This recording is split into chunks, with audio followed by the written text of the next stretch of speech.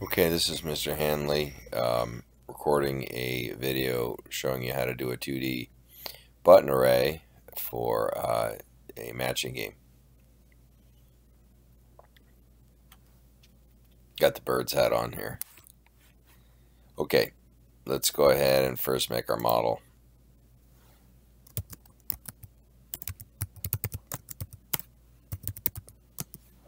Two D array of integers that's going to represent our game data.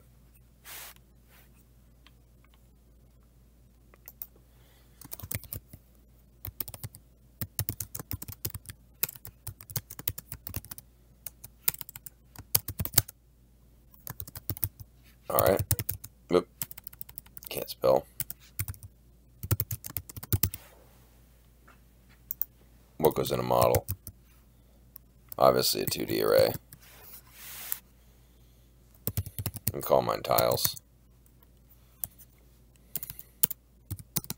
don't think I'll actually um, instantiate the array until uh, the constructor.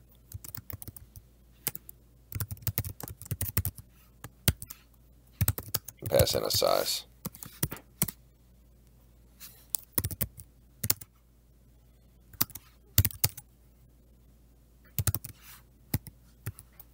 Obviously, it's got to be even. Um, three by three won't work. That'll be nine buttons. Five by five won't work. That'll be 25 buttons. You need groups of two.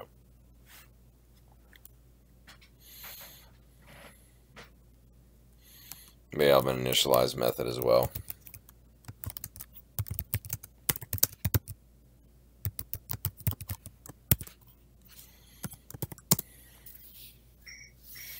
Go through and place uh, groups uh, of two numbers into the array. Two ones, two twos, two threes, two fours.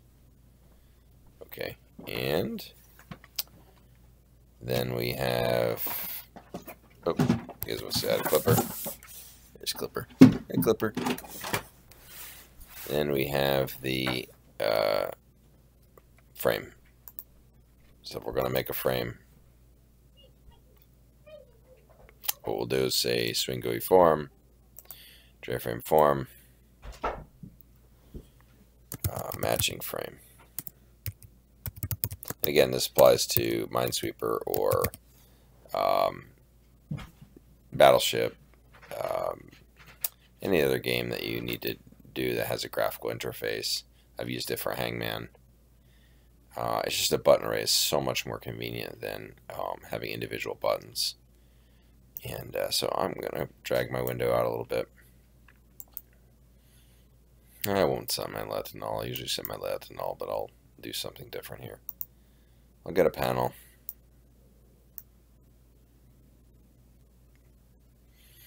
For my matching game.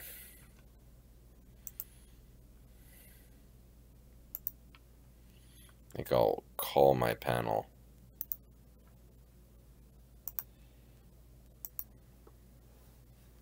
uh, game PAN for panel. I'm going to want a grid layout, but I, I'm going to want to decide that during the running of the program. So actually, I'm not going to put the grid layout in the designer like I do for the Java semester class. Just have to update my template there. It's a little out, out of date. Okay. So uh, what we're going to do is we do want a 2D array of integers. I mean, sorry, 2D array of J buttons. I usually put my global variables at the top. I'm going to call it the butt array. And I guess what size it's going to be depends on what size the game is going to be guess we'll default to a 4x4 button array, and then if we want to go 6x6, we can do that.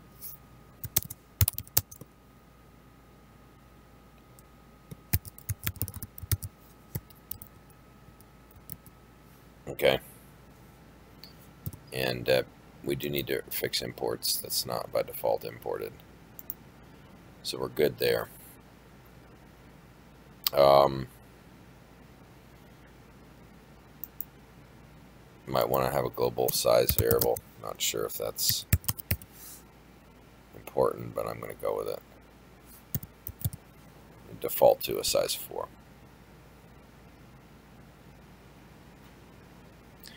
Um, in my constructor, I'm going to go ahead and do some magic here. And uh, before I get there, I will do, uh, I'll implement action listener.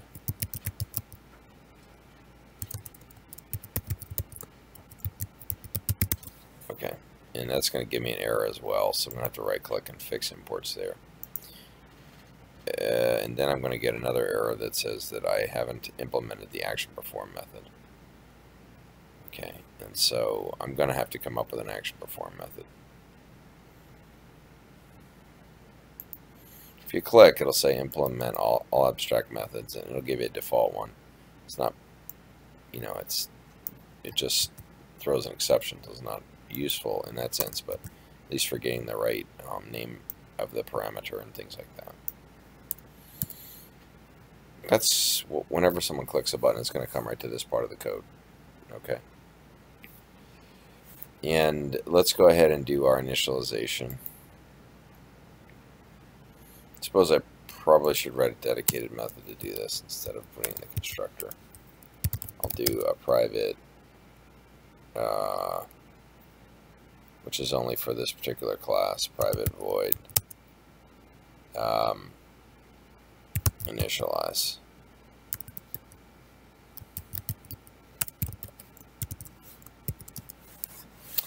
And I think what we're going to do is do nested for loops.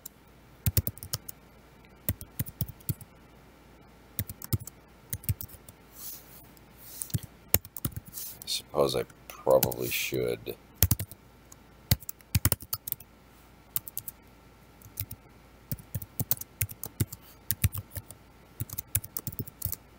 um, set up the grid layout before I do my nested for loops. So let's take this um, the button panel, game panel.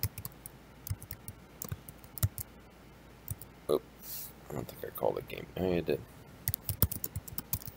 Set layout, new grid layout, and I want to make it size by size.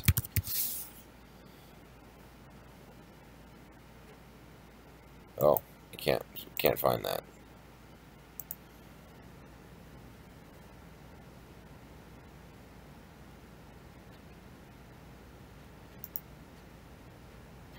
Okay. Yeah, it's just a question of the for loop now. So what that means is there'll be like a 4x4 or 6x6. You know, I guess you go 8x8. There's a lot of tiles to flip over. I'm going to do a bunch of things inside here. I'm going to create a new J button. That's important. And uh, even though I have a button array, I don't have specific buttons to go with each slot in the array. So I do have to do this um, for each of the buttons.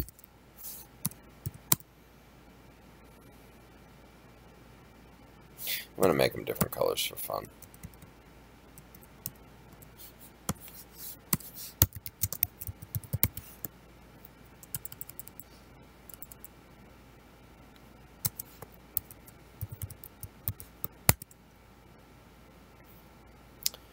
Uh, let's see. Maybe we'll go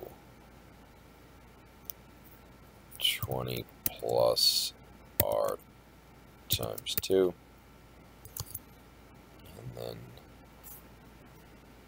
uh, something like C plus uh, 2 times 40 plus C, and then 255 minus R times 10. I, I don't know, I'm just, I'm just winging it with these three. I'm assuming it can accept a color uh,